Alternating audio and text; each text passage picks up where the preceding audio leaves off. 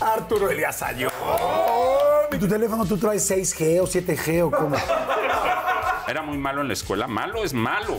¿Cuánto es malo? ¿Cuánto malo reprobabas? es malo. Malo es malo. De- de Malo, 15. Eso, peor. Mi primer cheque que fue de una buena lana, 50 mil pesos de aquella época, y se lo regalé a mi jefa. Me encontré ese cheque ahí enmarcado. Dije, puta, qué coraje, cabrón, que no me lo gasté, güey. ¿No? Es este yerno de Slim, por eso le va así. ¿Qué opinas? Pues que digan, compadre. ¿No? y súper agradecido con la vida. Y no por la lana, ¿no? Claro. Sino por haber tenido la oportunidad de pertenecer a una familia así. Que los dos también eran bien novieros, ¿no? Pero no nos vamos a meter en problemas. No Exacto. No nos vamos a meter en problemas. No nos vamos a meter en problemas. pero ¿para qué? ¿Para qué?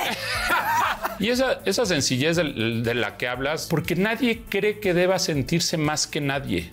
Ni menos tampoco, ¿eh? Y si lo ves así desde chiquito, porque así te educaron, no tiene por qué cambiar. Hay quien se sube al, ladrillo y se mete unas mareadotas.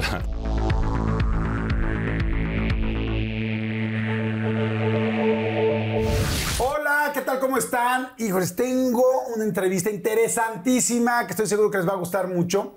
Casi nunca, ustedes lo saben, casi nunca leo un currículum o algo por el estilo de un invitado, pero aquí sí me parece importante decirles un poquito de mi invitado. Es presidente de la Fundación Telmex, es director de alianzas estratégicas y contenidos de América Móvil, es parte del Consejo de Administración de Grupo Carso, es también del Consejo de Administración de Imbursa, es director general de Uno TV, es director general de la marca Claro, también director general de Claro Sports, eh, la Business Leaders. ya, no, no, no, no, espérame, no, espérame. La Business Leaders Dice, lo acaba de catalogar como el cuar- eh, como cuarto lugar de influencer de negocios en el mundo. O sea, este güey sí es el tiburón de tiburones. Y este, y está aquí con nosotros Arturo Elías Ayón. ¡Oh, mi querido Arturo, qué bueno! ¡Qué rico! Qué gusto, qué gusto, No, mi querido igual. Jordi. Oye, ¿qué dice tu tarjeta de presentación, güey? O sea, tu tarjeta de presentación, ¿qué dice? Pues Arturo. y hay mi, mi numerito. Nada más Arturo. Sí, Oye, la verdad es que no, te agradezco mucho. Luego, luego me da pena, pero tengo muchas chambas que me divierto mucho, entonces está padre porque todos los días ves como cosas diferentes, Claro. entonces está muy divertido. No, te quiero preguntar porque de repente vemos personas que tenemos, no sé, quizá tres chamas y nos volvemos locos. Y repente dices, ¿cómo le hacen las demás personas que tienen este cargo? Pero bueno, primero, bienvenidos a todos. Va a estar bien interesante la plática. Sé que hay mucha gente que nos gusta el rollo empresarial, el, empresarial, de, de emprender, el rollo de saber cómo hacerle. Y está muy rico poder conocerte un poquito más de cerca y conocer a la persona y no solo al empresario. Y este, ¿qué tomas tú? Eres de tequila. Tequilero. Tequila, pues salud. Salud. La gente con nosotros toma. En este programa todo el mundo se da una hora, una hora y media para tomarse algo con nosotros, para conocer a la persona, al artista, a la celebridad, a quien tengamos aquí. O sea, para conocerlo a fondo después de unos Ah, no. tequis o qué. No, pues sí, para Así se conoce ¿no? a la gente a fondo, ¿no? Así, viajando. Y viajando. No, viajando sí Es está cañón. Pues salud, sí. porque no quiero que me fiches, ¿eh? Salud. No, no, no. Oye, mi querido Arturo, cuéntame un poco de, de tu niñez. O sea, son, tienes dos, dos hermanos, pa- tu papá y tu mamá, bueno, que tu papi lamentablemente ya no está aquí con nosotros. ¿Cómo era? ¿Cómo eras de chavito? Eras, porque te veo muy agradable, muy divertido, juguetón, muy sencillo, y eso es algo que me conquista mucho de tu forma de ser. ¿Cómo eras de chavito? Fíjate que fui el hermano más chico de cuatro. Uno murió. Ah. Eh, cuatro hermanos mucho más grandes que yo. Entonces, el más grande me lleva 17 y el que sigue me lleva 10 años. O sea, fue un pilonzazazo. Y eso, pues te hace un chavo que aprendes a muchas cosas, ¿no? Aprendes de los grandes, pues de su capacidad, su inteligencia, sus formas, pero aprendes a defenderte y aprendes a convivir con gente mucho más grande, aprendes muchas cosas, pero además eres el consentido, ¿no? Claro. Imagínate después de 10 años y entonces fui un chavito súper alegre, un chavo, este, pues que me encantaban los deportes desde muy chavo, que me encantaban los negocios desde muy chavo, que me encantaba convivir con mis papás, con mis hermanos, con mi familia. Tenía muchísimos cuates, muchísimos amigos. Ahorita que me dices lo de consentido, ¿cómo en qué te consentían? Así que decías, sí, estos sí me, me traen aquí. Ah, No, pues haz de cuenta, permisos, por ejemplo, Ajá. que mis hermanos se ponían histéricos porque decían, pero a mí a esa edad nunca me hubieras dejado, ya sabes. Ajá. Y es normal, o sea, los papás con el hijo grande son, yo creo que es normal, porque fue en mi caso, este, son como más rigurosos, ¿no? Y ya se van alivianando con los demás hermanos. Y ya con el chiquito, pues los jefes son mucho más alivianados. Yo creo que es algo supernatural. Claro. Y a mí me tocaron mis papás ya súper, súper alivianados. Entonces, ese tipo de permiso, de, de- de consentida, de darme más permisos de lo que le hubieran dado, por ejemplo, a mis hermanos a esa Claro. edad, ¿no? Eh, ese tipo de cosas, sí, sí, fue un chavo muy consentido. O sea, mi papá me traía de arriba para abajo, para todos lados. Y te ibas a trabajar con tu papá de Me iba a trabajar con mi papá de ¿A los cuántos años? Desde los cinco o seis años. Ah, sí. Sí, pero digo, iba de cotorreo un poco. Ajá. Ahí este, tenía una, una fábrica de uniformes industriales y la parte de abajo era una tienda de telas pues, más o menos grande al público en Correo Mayor con Uruguay. Entonces me encantaba ir a la tienda porque me iba ahí a vender y me iba a la bodega a acomodar este, los bultos de tela y a hacer inventario y a... O sea, me encantaba. No, soy un chavito raro porque... Este, ¿Te gustaba desde chiquito? Me gustaba mucho, me Y gustaba sabías mucho. así que cuál es la popelina y cuál es No, no, sé bueno, qué del bueno, cielo. dominaba, dominaba cuál era cada tela, cuánto costaba, cuánto costaba por mayoreo, cuánto por metro, cuánto, eh, cuánto teníamos en cantidades. La verdad sí me gustaba mucho, me, me- no sé, ahí ya... Y te ponía a trabajar ahí. O sea, bueno, ya cuando quizá creciste un poco más, hacías diferentes acciones en el, en la te- eh, con los de la telas, bueno, en la bodega. Hacía de todo. O sea, digo, te estoy hablando cinco o seis años, van a pensar que mi papá era un abusador. No. Pero no, digo, ahí me llevaba a acompañarlo, ¿no? Pero yo me ponía a hacer cosas. Este, ya más grandecito, 14, 15 años, sí ya fui a chambear, a chambear. Y me tocó hacer de todo. Me tocó barrer, literal. Eh, me tocó acomodar bultos de tela, llevarlos, ir a cobrar, ir a comprar, eh, pa- pararme atrás del mostrador y me- eh, teníamos un metro de madera. madera? Ah, el- el que es así El que es cuadradito, así, sí, cuadradito. Y así, fue metro por metro y le cortaba con las tijeras. Lo envolvía en papel periódico en ese Ajá. entonces, ¿no? Lo, lo- o sea, lo doblaba, lo envolvía, me cruzaba la caja, lo cobraba, o sea, me tocó hacer de todo, que fue padrísimo. Y justo, qué bueno que tienes ahí el negociador. Sí, aquí el libro. Eh, ajá. eh, ahí cuento lo importante que es para mi gusto, Jordi, estar detrás de un mostrador, literalmente, ¿no? O sea, es estar detrás de un mostrador en caso de un negocio comercial. Pero el decir estar detrás de un mostrador es, güey, ri- rifártela y rajártela desde abajo, ¿no? Desde conocer tu negocio de pies a cabeza, saber exactamente qué pasa en cada parte de tu negocio, en la bodega, en el almacén, en los inventarios, en la venta, en la compra, en la cobranza. O sea, conocer tu negocio de pies a cabeza y, y a mí me sirvió mucho eso de que mi jefe me pusiera, te digo, a trapear los bultos de, de tela que no se ensuciaran desde el principito. Oye, ¿y cuándo te pagaba en esa época? 14, 15 años. Bueno, pues no me acuerdo, pero digo, ahí me daba una lanita para, para los chicles, ¿no? ¿Y qué, qué hiciste con tu primera lana? O sea, bueno, con, con esos primeros pagos, no, no, no específico. Fíjate que mi hermano hizo un club deportivo cuando yo estaba bien chavito. Tendría más o menos 15. El, se llama, ¿puedo decir el nombre? Sí, claro. El Lomas Sporting. Ajá. Eh, lo construyó mi hermano y me puse a vender acciones. Y ahí sí me llevaba una buena lana, una buena comisión. Y mi primer cheque, que fue de una buena lana, Ajá. se lo ¿Ese sí te regalé. acuerdas de cuánto fue? 50 mil pesos de aquella época, sin los tres ceros, cabrón. Ok. O sea, era una muy buena lana. Y este. Y se lo regalé a mi jefa. Se lo regalé a ¿Todo mi completo? jefa completito. Ajá. Porque me dio mucho orgullo, ¿no? Ajá. esos 50 mil pesos y llegar y decirle a mi jefa, ahí está, que, que gracias a Dios no lo necesitaba mi mamá, ¿no? Era, un, era un tema de que yo, de sen- orgullo. yo sentí bonito, ¿no? De regalárselo a mi jefa. Y, este, y muchos años después me encontré ese cheque ahí enmarcado. Dije, puta, qué coraje, cabrón, que no me lo gasté, güey. ¿No? Estaba ahí este, guardado el cheque, no, lo- no lo usó nadie, cabrón. Oye, pero entonces, ¿y lo enmarcó tu mamá y lo puso en la casa o algo así? Pues no, lo, lo guardó porque nunca lo vi en mi casa. Me lo encontré, te digo, hace cuatro o cinco años dije, chinga, lo hubiéramos invertido en acciones de Apple y no estaríamos aquí, cabrón. Oye, que te ibas, eh, que te escapabas cuando estabas más chavito al centro a comprar útiles o cómo era eso? No, cuando iba con mi papá, que iba normalmente los sábados, era cuando iba de muy chavito con mi papá. Y había una papelería de mayoreo inmensa ahí junto a la tienda, ahí en Correo Mayor. Y entonces, pues yo veía los precios de los lápices, de las gomas, de las plumas, de los cuadernos. Decía, güey, en la escuela esto nos los venden al triple.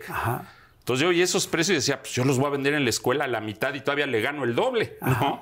Y, empecé a hacer ese negocito de, vender libretas y cuadernos y lápices y gomas y pues me empezó a ir muy bien, porque luego las mamás eran mis clientes. Primero los chavos, ¿no? Te venden una pluma y te venden un cuadernito. Pero al rato ya los chavos no traían para comprarme 15 cuadernos, ¿no? Entonces ya con las mamás. Ya te hacían pedidos sí, sí, ya, eran los pedidos para, para los útiles de todo el año.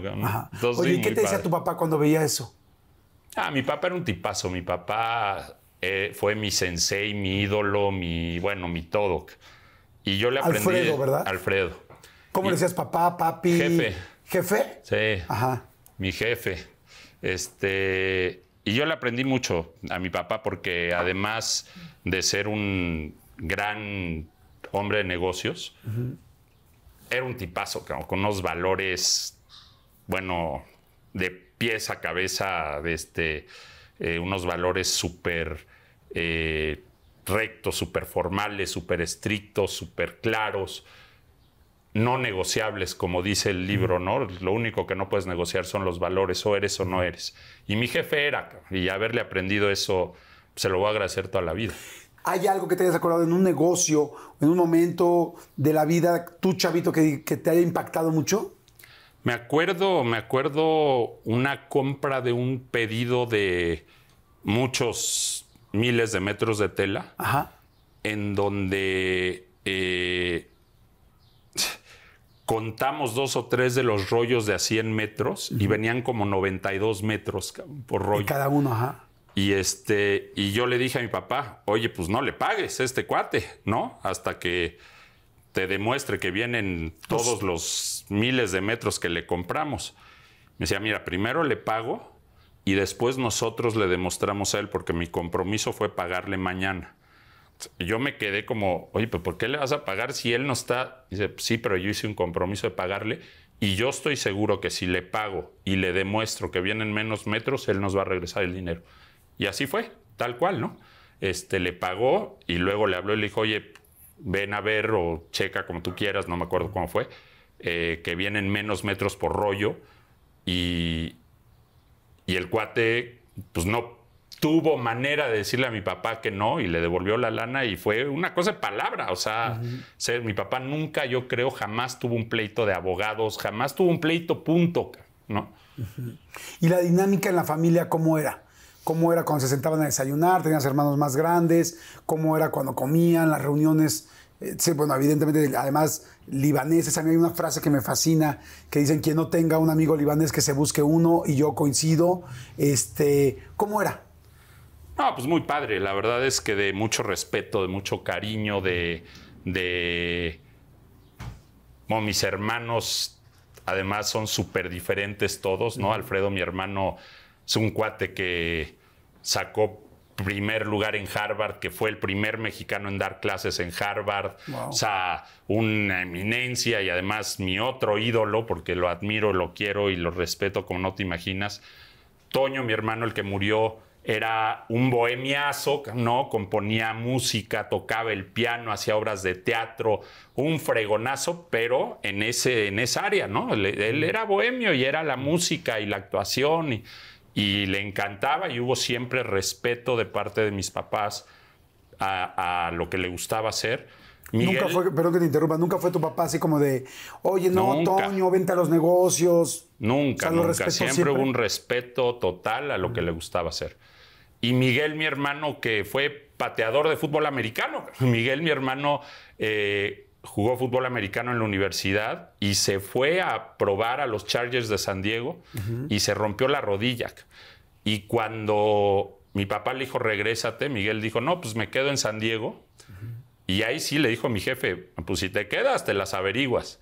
Y empezó de mesero y después este, tocaba muy bien la batería también Miguel, entonces iba a tocar la batería en Las Vegas a ganar su lanita y luego empezó con un negocio de bienes raíces en San Diego y, y muy bien y se quedó a vivir allá. Pero los tres súper diferentes, pero te digo, una familia de mucho respeto a cada uno de lo que hacía y de lo que le gustaba hacer y padrísimo. Me estás platicando un poco qué aportaba tu papá, qué aportaba tu mamá. Ah, mi mamá, eh, una señora en toda la extensión de la palabra, una tipaza. Doña Silvia. Está, mal que yo hable tan bonito de mis papás, pero, pues los quiero mucho y son mis papás y los admiro y... Y mi mamá era más firme, mi jefe era más alivianado. Mi ¿Ah, mamá, sí? sí, sí, mi mamá era mucho más firme, dura. Mi mamá eh, nació en una familia de tres hermanas. Mi abuelo fue eh, un emigrante libanés muy exitoso, eh, amigo de desde el que le boleaba los zapatos en el centro, pero amigo de que lo invitaba a comer a su casa, hasta casi todos los presidentes de la República. O sea, era un personajazo, mi abuelo, al grado de que cuando empezó a andar mi papá de novio con mi mamá, mi abuelo le puso dos pistolas y le dijo, pues escoge, cabrón, ¿no? Y mi ¿Como- papá... como de duelo Sí, sí, sí, sí. Dice, oye, aquí, eh, escógele.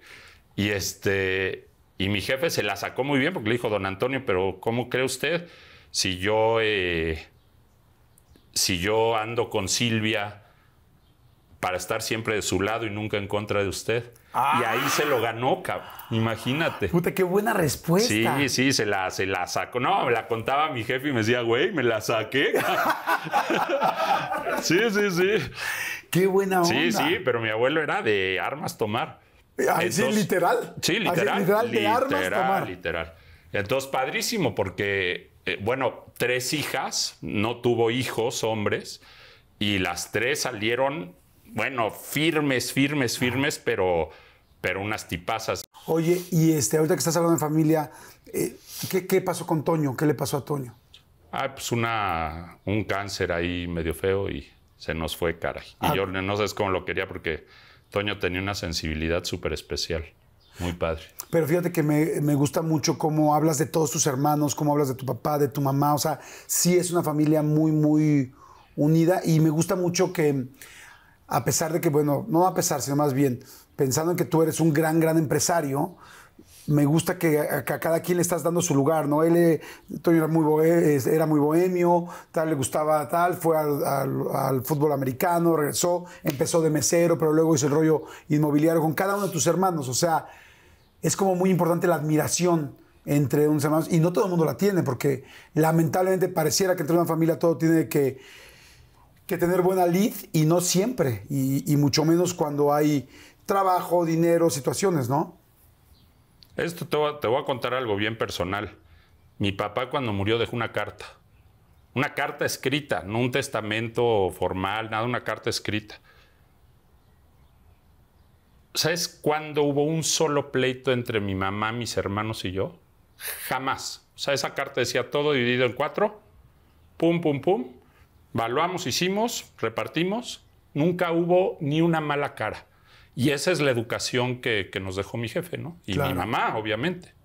Qué, qué- qué- bonito, ¿no? O sea, hay una frase que a mí me encanta que, que alguna vez la escuché y trato yo de utilizarla y es, mi palabra vale más que mi firma. Y siento que así era tu papá, ¿no? Como dices, nunca tuvo un problema, nunca tal, y me encantó lo que dijiste, pagamos primero y luego le demostramos que tal, porque yo quedé en que iba a pagar mañana. Pa- para mí la importancia de la palabra en los negocios y en la vida es un must. O sea, es de verdad, de verdad, el que yo pueda decirte, Jordi, tenemos un trato, darte la mano y no necesitar una firma, para mí eso vale oro. Y yo lo digo en el libro, y eso se gana Claro. con años, ¿eh? Porque no es fácil ganarte el valor de tu palabra. Es muy difícil. ¿Y sabes cuánto se, cuándo se pierde? En medio segundo. Claro. En una, ¿eh? En una Sí, que... en una que hagas. Adiós. Oye, y que llegó un momento que no querías estudiar, que dijiste, no, yo quiero hacer negocios, siento que está- estoy perdiendo el tiempo en la escuela. Sí, era malísimo en la escuela. era malísimo, me aburría mucho, güey. Ajá. Este. Sí, sí, yo sentía que estaba perdiendo el tiempo y que y me iba muy bien en los negocios. Entonces, este, pues sí, sí, me rajé hay uno o dos añitos. Ajá. Y me, me- ¿Qué te dijeron tus papás? Me puse a chambear. Eh, pues agarraron la onda, ¿eh? Agarraron la onda. Primero empecé hoy un año sabático, ¿no? Eh, y me pongo a trabajar. Y era muy responsable, Jordi. O sea, sí, era muy malo en la escuela. Malo es malo, güey. O ¿Cuánto sea, es malo? ¿Cuánto malo reprobabas? es malo. Malo es malo. O sea, malo. Malo. De, de Malo, 15. Eso, peor. O sea, de, de 15 veras. reprobaste 13. No, no, bueno, no, no 13, pero sí 5. Es Seis. medio malo. No, no, seis. Seis extraordinarios. Ah, tú eras peor. No, no, no. No, sí, no, sí. No, te lo juro que yo era bueno, no, pero es que tengo, tengo amigos cercanos de que sus tres, hijos han de- reprobado casi todas. No, pero bueno. no, no, yo, yo, yo, yo solo me fui una Pero las demás con seis. O sea, sí, sí, no creas Y que. entonces querías ir a hacer negocios. Sí, porque yo todo el tiempo estaba pensando en otro rollo. O sea, traía otro rollo y me aburría mucho en las clases y ya me quería ir a, a chambear a la tienda y ya me quería ir a chambear a mis negocios. Y este, sí, sí, sí.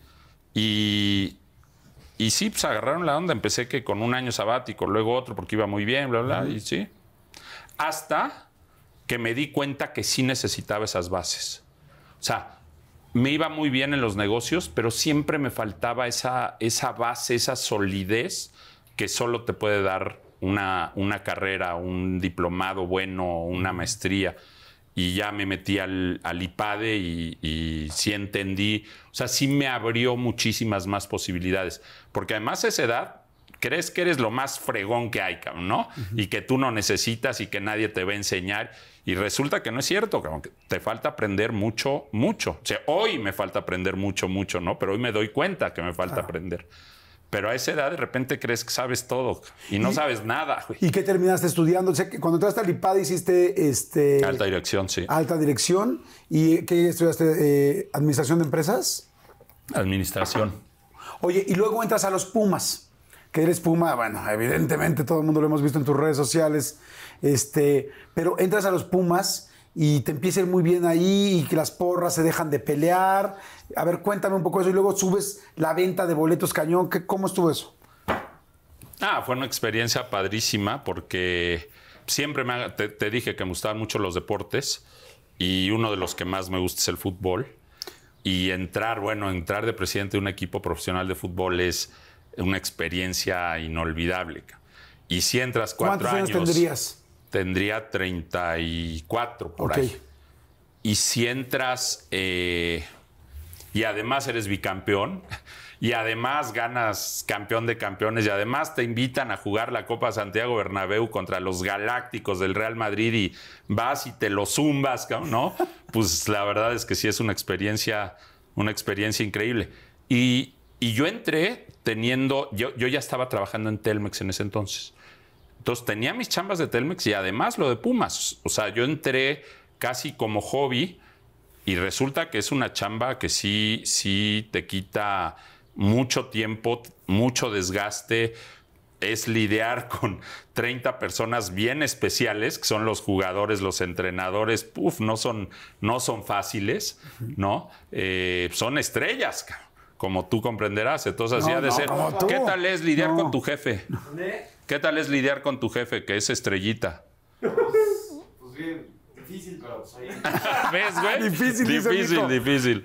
Este, entonces sí es una chamba, pero además es una chamba que además es muy pública, porque si tú tienes un negocio y truenas, Nadie lo sé. pues nadie se entera más que tú y duele y es horrible. Pero aquí te va mal y se entera 130 millones de personas, cabrón, Claro. Entonces es, es una chamba eh, bastante complicada, pero es la mejor experiencia que, si te gustan los deportes, el fútbol, la mejor experiencia que ¿Cómo lograste tener. que subieran pues, de 4 mil, 5 mil entradas a casi 50 mil entradas los, los, los partidos? Fíjate que hice una buena negociación con, con las porras y ahí viene todo contadito en el libro, pero a mí, Jordi, a mí me daba de repente miedo llevar a mi chavito a CU, ¿no? Porque no sabía si iba a ver una bronca y si qué iba a pasar y si un botellazo. Y yo lo que hice fue sentarme a platicar con los chavos de, de- las porras Y, y fue una plática muy clara la primera, ¿no? A ver, ¿ustedes qué quieren? Pues ver campeón a su equipo, ¿no? Es lo que quiere cualquier barra de animación. Digo, pues yo también. Pero para eso necesitamos lana. Y para tener lana necesitamos llenar el estadio. Y para llenar el estadio, pues no puede haber violencia en el estadio. Tiene que ser un estadio familiar, tranquilo, buena onda. Entonces, pues vamos a hacer un trato que sea bueno para todos. Ustedes venden playeras, venden cosas afuera del estadio. Este, les conviene que el estadio esté lleno, les conviene que su equipo sea campeón. A mí también, porque soy el presidente del equipo. A la afición en general. Pues vamos a ser brothers todos y vamos a trabajar todos en conjunto para que eso pase. Y eso pasó tal cual. Wow. ¿Tú sabes cuántas veces negocias todos los días? No. 46, sin darte cuenta algo estás negociando. Ahorita que dijiste, préndeme esa luz más, mueve tantito para acá la cámara. To- todo el tiempo estás negociando. A mí, que me, ¿qué tomas? Pues yo tomo agua y me pusiste, estoy fuera. Dime que te vas a echar un tequila con... Todo el tiempo estás negociando, en la vida, no en los negocios, en la vida. Y este libro creo que trae buenos tips para una negociación de una ama de casa, una negociación de una bailarina de ballet, una negociación de una eh, super empresaria o una super ejecutiva o un ejecutivo y el sueldo con su jefe o un chavo para sacar permisos con sus papás, o sea, para la vida, ¿no? Oye, ¿y este, ¿y eres de fiesta o no? ¿Eres tranquilo? ¿Cómo eres? Porque sé que eres muy deportista, que te encanta el tenis y muchas cosas, pero este, ¿eres de fiesta o no? Me encanta, me encanta la fiesta. ¿Sí? La verdad es que ya me he calmado mucho, pero sí fui fiesteri, sí, sí, sí, sí. Oye, sí, y- muy, muy, muy. ¿Y de muchas mujeres o no? No, no, una nada más. No, no, no, antes, antes, no, no, no, hombre. No, no, antes, así cuando estabas chavo, ¿eras de muchas chavas? ¿o, O no? sea, era de fiesta. o sea, o sea, Güey, ya me contestaste, ¿Para qué ¿no? me metes en broncas? De a gratis, es rudeza innecesaria. Ay, no, bueno, pero fue antes. Bueno, Ah, pero o sea, de todos modos. ¿para qué le mueves? Tal, tal, tal, tal. Pero bueno, a ver, ¿cómo entraste a Telmex? Bueno, me, me caso y el ingeniero Slim me invita a participar y a mí me estaba yendo muy bien en, en mis negocios. Y pues fue, también lo, lo cuento aquí, fue la decisión más difícil de mi vida porque era pues yo tener mi propio negocio a, pasar a participar en un negocio, pero ya no era mío, ¿no? Eh, pero era también entrar a las grandes ligas. ¿no? Entrar a un grupo empresarial, al más importante de América Latina, y entré eh, pues de prueba, porque yo le dije al ingeniero Slim que estaba agradecidísimo, honradísimo, pero que pues me estaba yendo muy bien y, él que es, es un tipazo y ahorita seguro me vas a preguntar un poco de él y te contaré, pero me dijo, pues prueba seis meses. Y llevo 22 años, 23 años probando. este, la verdad es que entras a las grandes ligas y, y te enamoras porque, porque puedes hacer cambios verdaderos para bien en muchos sentidos, ¿no? Por ejemplo, hoy que mencionabas, yo tengo la chamba más bonita del mundo, que es ser director de la Fundación Telmex. Y bueno, haber eh, dado más de 600 mil becas a jóvenes estudiantes que no pueden pagar eh, sus estudios o haber sacado de la cárcel a gente que está por pobre y no por delincuente, que tienen derecho a una fianza y que a veces ni siquiera, Jordi, hablan español para saber que tienen derecho a, salir con una fianza de 3 mil, 5 mil pesos y se quedan uno o dos años en la peor universidad del mundo, cuando pueden salir a los dos días porque se robaron un pan para comer para sus hijos o se pelearon afuera de la cantina, ¿sabes? y, y haber sacado a más de 300 mil personas de la cárcel en esas circunstancias o haber entregado más de 700 mil sillas de ruedas y darle movilidad a 700 mil gentes que les cambias la vida a ellos y a sus familias, ¿no? O digo, te puedo mencionar 50 programas de este tipo, la Copa Telmex, el, torneo de fútbol más grande del mundo, que tiene eh, 250 mil participantes cada año y son chavos que en su comunidad es importantísimo ganarle al, al pueblo de junto y luego el torneo estatal y luego el nacional. Y los nueve meses que está eh, el torneo, ves que se cierran cantinas, que se acaban violaciones, que cambia estructuralmente el rollo en, todo el- en toda la población, porque la hermana, porque es de hombres y mujeres, ¿no? Pero a lo mejor la hermana que no juega es porrista y el hermano que es malísimo es árbitro y, el, y la mamá lleva las naranjas en el medio tiempo y se involucra a toda la comunidad. Claro. Y es un cambio estructural en la comunidad increíble. Pero como te digo, como- y tener, imagínate que te den un chorro de millones de dólares para hacer el bien. ¿Qué mejor chamba puedes Claro. tener en la vida? Entonces, eso, pues no lo puedes cambiar por nada. Claro. ¿no? Cuando entras ahí, dices, wow, o sea, puedo hacer un verdadero cambio. Y eso, pues no lo dejas ya nunca, ¿no? Oye, cuando entras entonces a, a Grupo Carso, ¿lo pensaste? ¿Se lo preguntaste a alguien? ¿Tuviste algún amigo? Ah, digo, porque evidentemente a tu esposa era pues más complicado, porque tenía intereses en medio, ¿no? Eh, o sentimientos encontrados. ¿A quién le preguntaste o, o cómo lo Alfredo, pensaste? mi hermano. Alfredo es como mi sensei, como Ah. te dije, m- mi papá murió cuando yo tenía 22 y Alfredo ha sido como mi papá desde entonces.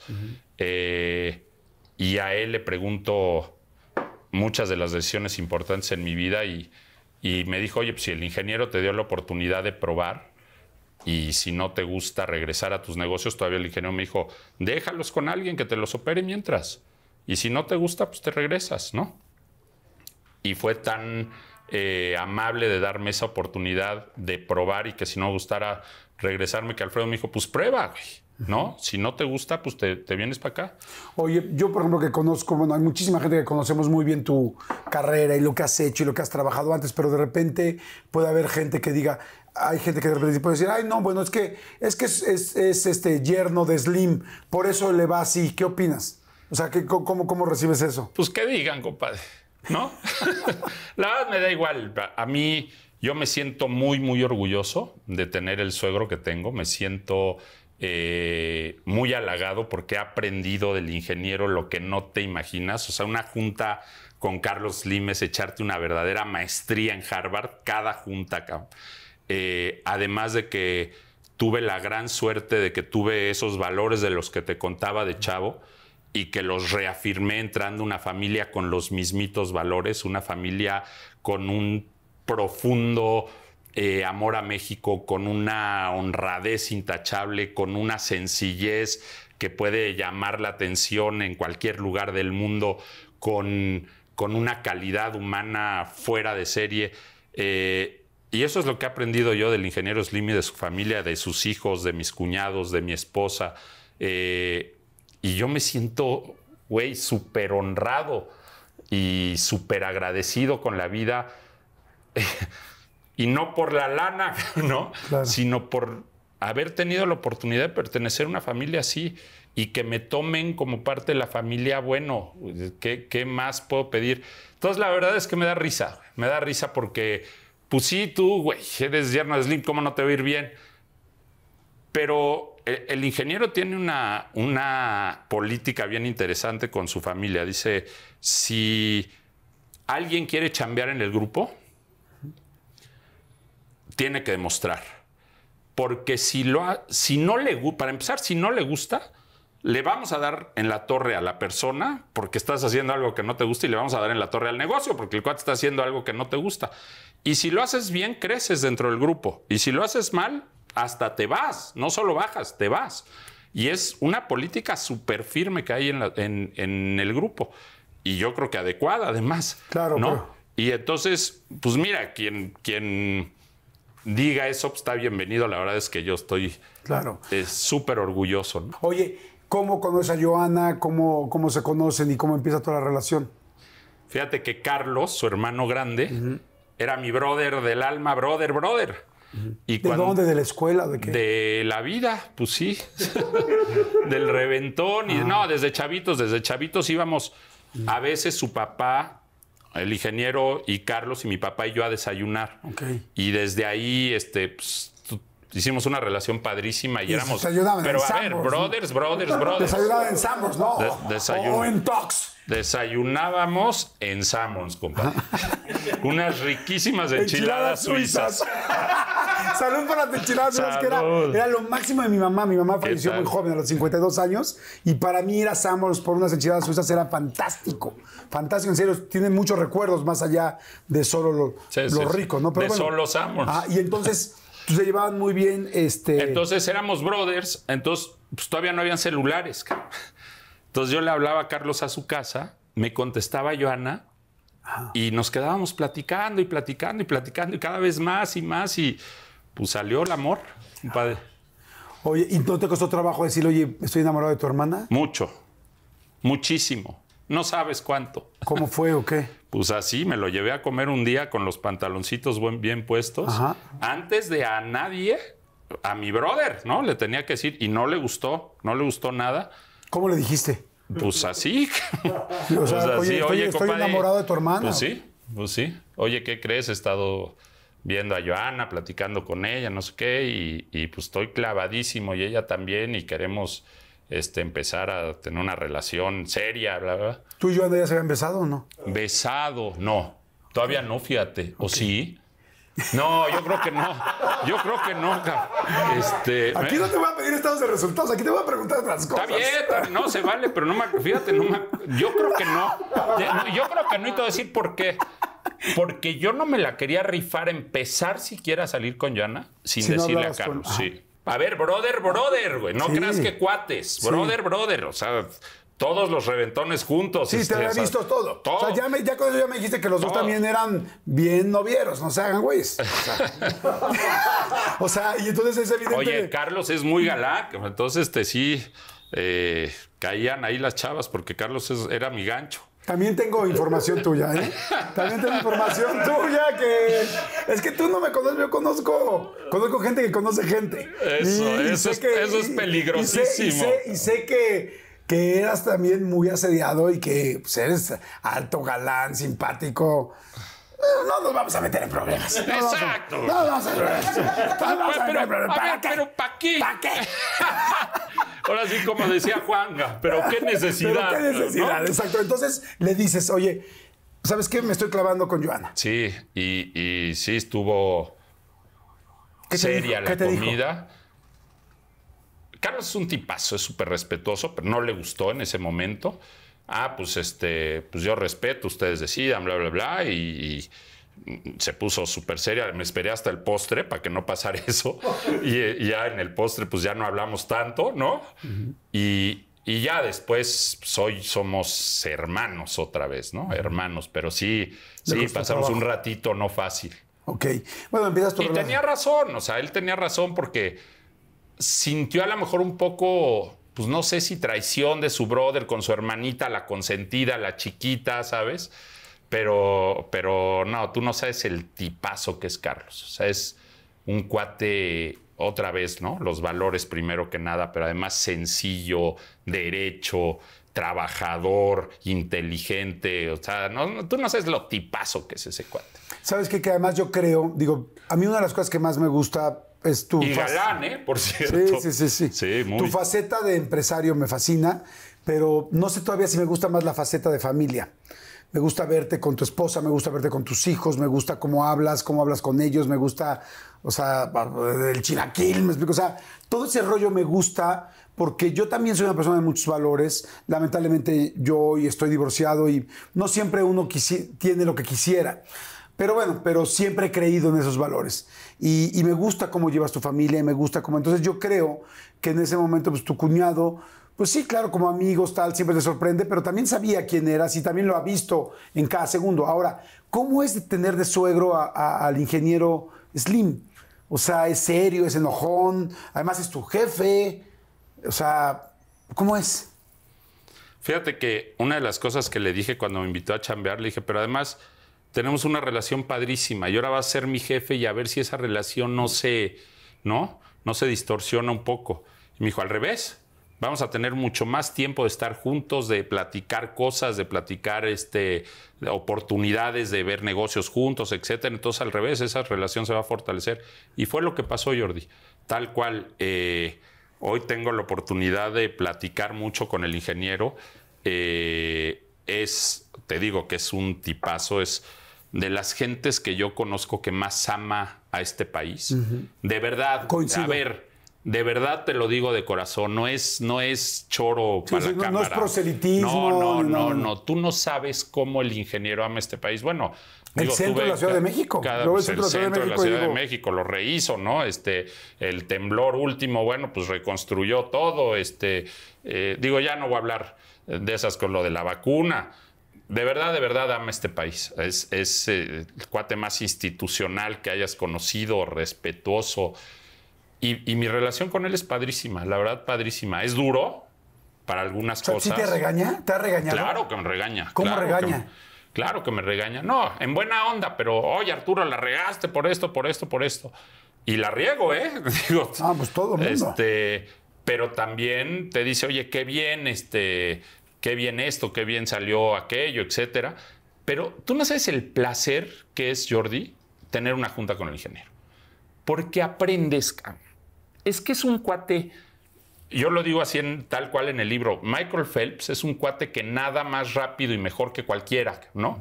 Y Usain Bolt es un cuate que corre más rápido y mejor que cualquiera.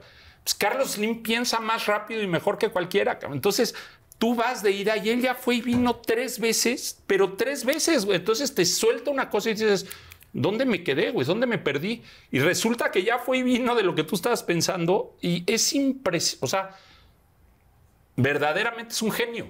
verdaderamente es un genio. Se le ocurren unas cosas que dices, güey, pero ¿por qué a mí no se me ocurrió, no?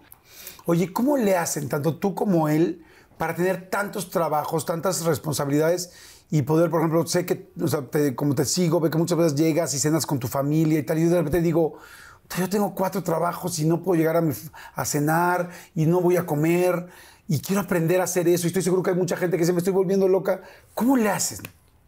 Ah, Yo, yo como le hago eh, es escoger a la gente indicada, darle la confianza para tomar decisiones y delegar. Sí estar muy pendiente de todo lo que está pasando, otra vez desde lo más pequeño hasta lo más importante, sí estar pendiente, pero tenerle la confianza necesaria a tu gente para que pueda tomar decisiones. Y sí, parte de esa confianza es que ellos mismos saben cuándo tienen que preguntarte, ¿no? Pero también saben cuándo pueden no y tomar la decisión ellos.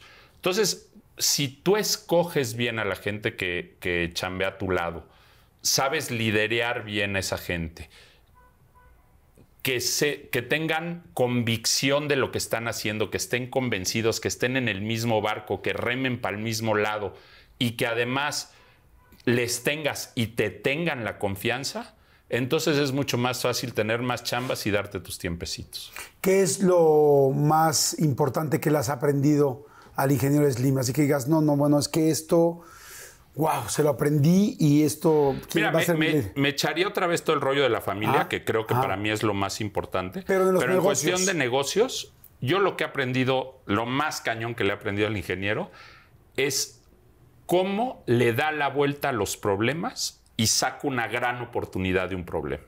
Es que es increíble, güey. Tú llegas con él y dices, híjole, ahora sí tenemos este broncón, no, no, no, no. Broncón, está precioso. Porque si haces esto, cambias esto, vas por esto y haces esto, fíjate la oportunidad en la que se convierte y ¡pum! No sabes de verdad cómo convierte los problemas en oportunidades. Tiene esa visión, facilidad, este don de convertir los problemas en oportunidades sensacionales. Eso es lo que yo más le admiro en los negocios. Tú estuviste con él cuando hicieron el amigo kit de Telcel, que creo que no existía ese- esa plataforma en el mundo, ¿no? Ese, ese tipo de negocio, ¿no? De, de hacer un teléfono Hoy, con... hoy el 85% de los celulares en el mundo son celulares de prepago, que es el amigo kit, ¿no? Y poca gente sabe que se inventó aquí en México y que lo inventó el ingeniero Slim. Le llamó en su tiempo el plan Gillette porque decía, vas a comprar el teléfono y luego una sola vez y luego ya nada más compras tus tarjetitas, igual que la, la navaja de rasurar, ¿no? Compras tu navaja, tu rastrillo y ya nada más compras las navajitas. Y así le llamó el plan Gillette y lo inventó aquí en México y hoy es el sistema de telefonía móvil más popular en el mundo. También podríamos decir, yo creo que gran parte de este país tiene internet gracias a Telmex, porque o sea, la mayor- o sea, fueron los primeros, los, o sea, América fue una locura, bueno. Y tú también estuviste muy metido en cómo llevar internet a las casas. ¿Cómo fue eso? Me tocó, me tocó eh, que me dieran la chamba de empezar el internet en Telmex. Imagínense nada más eso, o sea, Sí, sí. Traer, pues tú, casi y como tu dices, teléfono tú traes 6G o 7G o cómo. 18X. Y Llego con el ingeniero Slim, me encarga traer internet a México, literal. Empezar con las primeras conexiones. Bueno, ya, ya la UNAM tenía una conexión, pero era además de esas de... ¿Te acuerdas del ruidito? Y me dice, pues ahora tú te encargas y a conectar a todo mundo. Y llego un día y le digo, ¿qué crees? Buenísimas noticias. Ya tenemos conectados 180 mil casas. 180 mil conectados y yo feliz. Y me dice, güey, pero esto es para. Pero ¿cómo si le apagué el sonido? ¿Quieres que le conectemos a, A ver, contestemos a, mi brother? Hola, Alfredo. Carnal, estás en vivo en una ponlo, entrevista ponlo, de YouTube. ponlo. Te voy a poner en altavoz con Jordi Rosado, que tiene 5 millones de, de De views. likes por mínimo. ¿Quieres saludar? A ver. Alfredo, ¿cómo estás? Bien, mi querido Jordi, ¿tú? Bien, muy bien, muchas gracias. Oye, te quiero hacer una pregunta. Primero, felicitarte, pero no sabes lo chingón que habla tu hermano de ti. Pero no sabes lo que habla de ti. Pero ahora quiero saber que tú me digas qué es lo que más eh, te gusta, admiras o respetas de tu hermano Arturo. No, compadre, no, No. digas porque me va a ir mal. No de. No, nada más. O sea, dime. Yo creo que su- sus valores. Puedes confiar que va a ser derecho, derecho, derecho siempre contigo. Ok, Yo me, creo que eso es lo más importante. me está ofreciendo un negocio, pero no sé si estoy dentro o estoy fuera. ¿Debo- ¿Puedo confiar? Mira, con todos sus valores, nunca apuestes contra él. Ese es un buen tip, ¿eh? Siempre.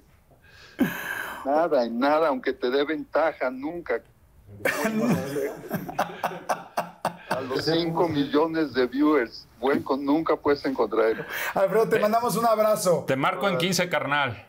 O en 30. Te marco en 15. Oye, qué buena onda platicar con tu hermano. Y entonces me estabas platicando, entonces te dices, oye, tengo 180 mil ya conectados, este, ingeniero Ah, Slim. sí, y ¿Cómo le yo dices- feliz. ¿Cómo le dices, este, Le digo tío, porque Ah, tío. entre los libaneses, ¿te acuerdas que te conté que soy amigo de Carlos desde chavitos?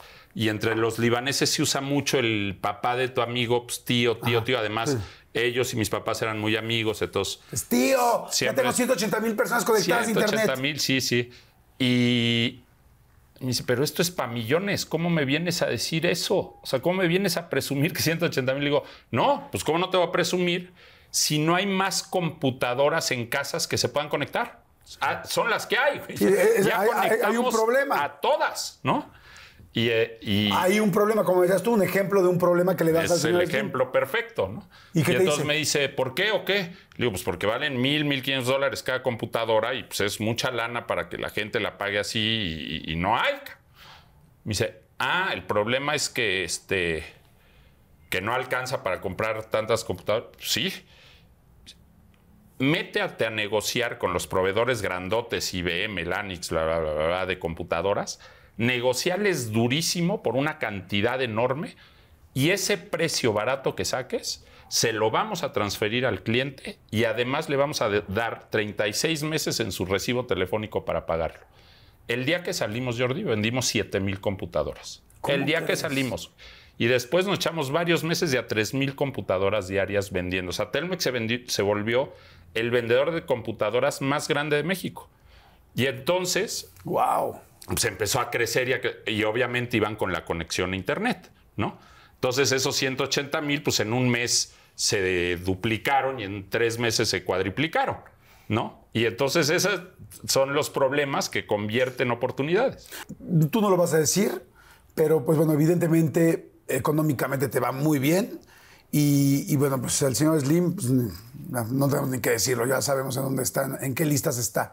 Este, ¿Y siempre he visto que son sencillos ¿Y los dos. ¿Sabes qué implica eso? Implica una gran responsabilidad. Porque luego también, ¿no? Lo que decías, es que la, la lana y no sé qué. Digo, obviamente ayuda para muchas cosas, ¿no? pero también implica mucha responsabilidad, Jordi. Hoy, eh, con esta pandemia, ¿no? Pues el grupo tiene en México nada más alrededor de 250 mil empleados. El ingeniero se comprometió desde el día uno a no correr a uno solo, a uno solo, durara lo que durara la pandemia. Qué responsabilidad, ¿no? Claro. Eh, porque son 250 mil familias que dependen. Entonces, de repente sí hay que ver los dos lados de, de la moneda. Claro. Porque sí implica una gran responsabilidad. Y esa, esa sencillez de, de la que hablas, yo no, no sé, pero sí la veo en él, en su familia. Porque, porque nadie cree que deba sentirse más que nadie. Ni menos tampoco, ¿eh? que yo creo que es importante. Y como que no hay ninguna razón, ningún sentido de por qué creer que eres mejor o, o más importante o merezcas más que otros. Y si lo ves así desde chiquito, porque así te educaron, no tiene por qué cambiar de grande, ¿no? Porque sí, sí, hay quien se sube al, al ladrillo y se mete unas mareadotas. Tú, por ejemplo, cuando llegas a una tienda, a, no sé, una tienda departamental a comprar ropa. No vas a creer, pero busco los descuentos, cabrón. ¿Sí? De veras, de veras. pues, Güey, si, si hay cosas buenísimas en descuento, ¿por qué voy a comprarlo más caro? ¿No? Claro. Entonces te vas al final de la tienda, ves que al fondo ponen los Me descuentos. veo donde dice este descuento o 30% menos y ahí busco primero. A lo mejor si no encuentro y me gusta algo mucho que no tiene descuento, tampoco voy a llorar aquí, a tirarme y decirte, no lo compro. Sí, sí lo compro. Eh, pero pues, es que es, es un tema de educación, Jordi. O sea, a mí me enseñaron a que si salgo de un cuarto apago la luz, ¿sabes? Para no gastar más luz. Y me enseñaron hoy, en mi casa no hay botellitas de agua, es agua de filtro con termos en el refri y todo el mundo agarra su termo, ¿no? Y son, son temas de educación, o sea, el otro día me decían, ¿por qué traes este reloj? "Güey, porque me da la hora, me marca el ritmo cardíaco, me, este, me dice cuántos pasos hice, me pone mi ejercicio, me da todo lo que mi agenda, mi WhatsApp, mi todo está aquí. ¿Por qué voy a traer un reloj de 30 mil dólares de oro que me parece espantoso hacerlo y, y de una falta de sensibilidad tremenda, ¿no? Pero además, ¿para qué? Claro. ¿No? ¿Cómo debe de comprar la gente? ¿Cómo, cómo hace seguro un buen negocio? Ah, yo digo en, en el comercio, el que es un buen comprador no necesita ser buen vendedor. Sea, si tú compras, Jordi, bueno, bonito y barato, se vende solo, porque tienes un buen producto a muy buen precio. Entonces, si tú sabes comprar bien, no necesitas saber vender. Se te vende solito. ¿Cuál sería un consejo muy importante para una persona que va a empezar apenas un nuevo negocio? ¿Y cuál sería un consejo para una persona que ya tiene un negocio y que de repente no le está yendo bien, que se le complica, que dices, ¿cómo puedo crecer o estoy pasando un mal momento? Primero, los que apenas van a empezar. A los que van a empezar, primer consejo, que hagan algo que les guste. Porque si empiezas un negocio de algo que te aburre, que no te gusta, que te pone de malas, te va a ir mal seguro. Haz algo que te guste, que te apasione, que te vuelva casi loco. Ese es el primer consejo. El segundo, haz un buen estudio de mercado. No te avientes como el borras, ¿sabe? Analiza tu competencia, analiza qué hay allá afuera, analiza qué necesidades hay. O sea, un buen negocio es el que cubre la necesidad, un- alguna necesidad que no está cubierta hoy por el mercado. Ese es un buen negocio. Entonces busca, busca qué realmente, qué necesidades hay por allá afuera, qué competencias están cubriendo esas, qué competencia está cubriendo esas necesidades y qué tan competitivo puedes ser tú, ¿no? Eh, yo esos, esos dos tips les daría a quien va a empezar un negocio. A quien ya tiene un negocio y sobre todo hoy con lo que estamos viviendo, yo le diría cuida muchísimo tus costos y tus... Ah, esto es para los dos entiende tus números como la palma de tu mano. Tú no puedes manejar un negocio, tú no puedes manejar un negocio si no tienes perfectamente clara la radiografía de tu negocio. Y eso se llama un balance y un estado de resultados. Si tú no sabes perfectamente con los números qué está pasando con, tus nego- con tu negocio, no pongas un negocio o no tengas un negocio. Ese es para los dos, para el que va a empezar y para el que lo tiene hoy. Y hoy es muy fácil, no, no, no le estoy pidiendo que hagan una maestría en Harvard, le estoy pidiendo que entren en un video de Khan Academy de 25 minutos y lo estudien tres veces, ¿me entiendes? Pero es básico para, para saber qué está pasando en tu negocio. O sea, tú en un estado de resultados ves este, en dónde estás gastando de más, por qué estás gastando de más, en dónde se te quedaron cojas las ventas, por dónde puedes vender más. O sea, es, es como un doctor que no tiene la radiografía o no la sabe leer, imagínate, ¿no? Un neumólogo que no sabe si hay agua en el pulmón porque no sabe leer la radiografía, pues se le muere el paciente, pues se te muere el negocio. Es igualito. Y al que tiene un negocio, justo eso, cuidar muchísimo sus costos y sus gastos. Y dos, yo le diría, piensa fuera de la caja para ver nuevas oportunidades de venta, de mercadotecnia, de, de lo que se te ocurra para salirte de la caja y pensar en cosas nuevas, estén si están funcionando las viejas, dejarlas y además eh, implementar las nuevas. Y si no están funcionando las viejas, obviamente, pues piénsale doble, carnal, porque si no, este, pues no está funcionando y tienes que cambiar. ¿no? Mucha gente se preocupa cuando se equivoca, salieron las cosas mal, traté de hacer algo y no me fue bien, y quise invertir en esto y perdí el dinero y ya lo había pedido prestado. ¿Qué opinas de cuando uno se equivoca en los negocios? Pues hay que, yo me he equivocado mil veces. Hay que levantarte, tomar vuelito y vámonos para adelante. Hay, hay, el, el, que no se equivoca, algo está haciendo mal, porque todos nos equivocamos, o es un mentiroso. Todos nos ponemos trancazos. Yo creo que no hay nadie que te pueda decir yo no me he equivocado. ¿Cómo empezó el asunto de eh, Shark Tank? Pues ahí nos invitó Sony a participar. Es cierto. Tú fuiste el primero que les dijiste, oye, vi este programa de Estados Unidos y me encantó, ¿no? Sí. ¿Y, tú juntaste a los tiburones? Sí, la verdad es que sí, con el director de Sony de Latinoamérica en ese entonces. Este, le decía, oye, ¿por qué no traes Shark Tank a México? A mí me encanta ver el, gringo y está padrísimo, pero además creo que es un programa que motiva mucho a la gente a emprender, entonces estaría padrísimo que lo traigan a México. Y me dice este cuate, eh, me dice, va, pero si tú le entras. Le digo, no, yo, que voy a estar en la televisión, no manches. Lo traigo si tú le entras y no solo si tú le entras, si tú juntas al grupo de tiburones. Y pues empecé a platicarlo ahí con mi familia, que como ven, les late, no sé qué. Y pues va, va. Y ya fue que invité eh, a Rodrigo, invité a Carlos Bremer, invité a Jorge Vergara en ese entonces, invité a dos mujeres que las dos desafortunadamente, no voy a decir los nombres, pero las dos desafortunadamente me dijeron que no, dos grandes empresarias mexicanas. Y después la producción invitó a Ana Victoria, que yo no conocía, y sí es un grupo padrísimo. Oye, de tus negocios que has dicho, estoy dentro, este, ¿cuál es el más exitoso de todos los que has, de todas las temporadas? Mira, luego se me sienten mis emprendedores y digo uno, pero van algunos muy bien, algunos bien y algunos mal. Bueno, dime uno que vaya muy bien. Y, por ejemplo, te puedo decir que están jóvenes muchos de los negocios. Entonces, vamos poco a poco como madurándolos. La verdad es que yo, Arturo, te, agradezco muchísimo esta entrevista porque sé que difícilmente das entrevistas.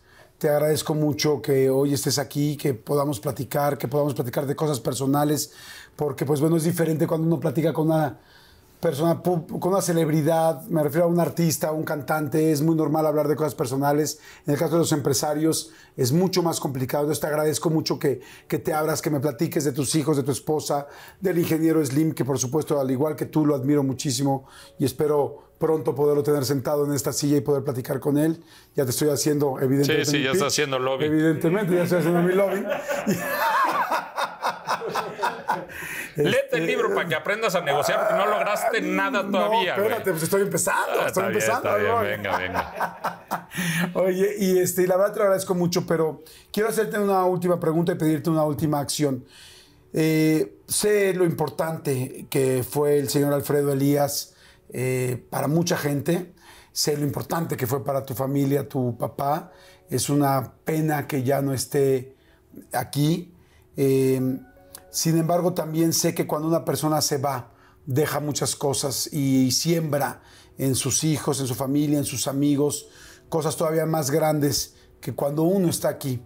¿Cuáles fueron los, el ejemplo o el consejo más importante que recuerdas de tu papá, de cualquier ámbito, no me importa si es familiar, si es empresarial, ¿qué recuerdas? ¿Qué, es, qué son las cosas que más recuerdas que te dijo tu papá que hoy cargas todos los días?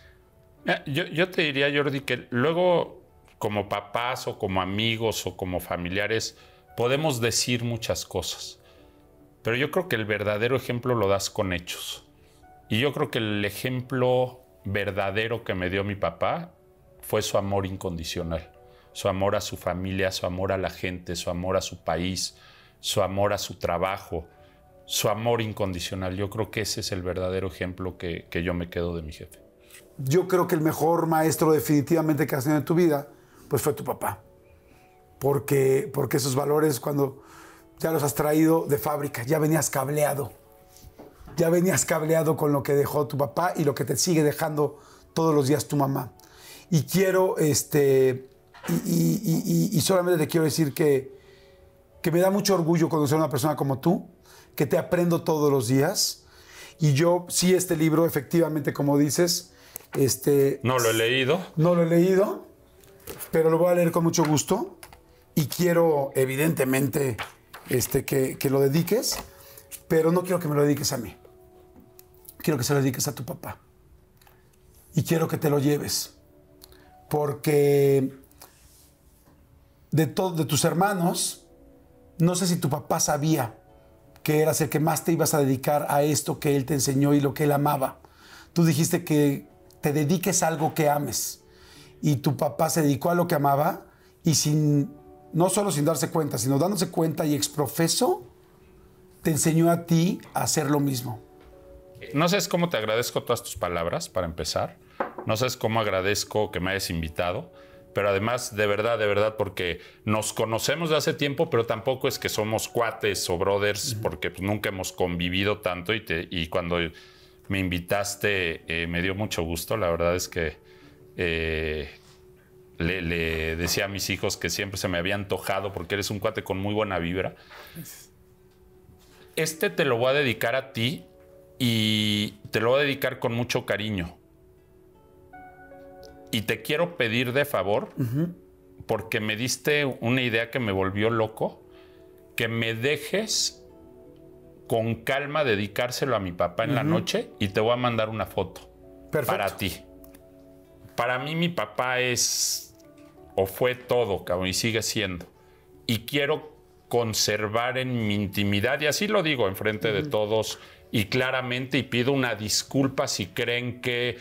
Eh, pues que es poco valiente o poco lo que sea, pero lo quiero guardar para mi intimidad y creo que se vale porque me diste una idea que me encantó y voy a llorar 300 veces cuando lo esté escribiendo esa dedicatoria y la quiero guardar para mí y te agradezco que me hayas dado la idea porque por güey no lo había hecho. Te, te digo algo, te lo tomo. Acabas de decir una palabra fantástica y yo creo que esa palabra rompe cualquier negociación y es necesito hacerlo en mi intimidad. Y yo lo primero que quiero y respeto en estas entrevistas es la intimidad de cada uno de mis invitados. Porque lo que más me importa es que tú estés contento y que sea de ti para él. Y es algo que nos vamos a quedar. Te lo agradezco mucho. Déjame acabar diciendo que la verdad que todo eso, que la intimidad, que no sé qué fue rollo, era nada más para ganarte la negociación, güey. ¿A quién quieres que se lo dedique? No, No,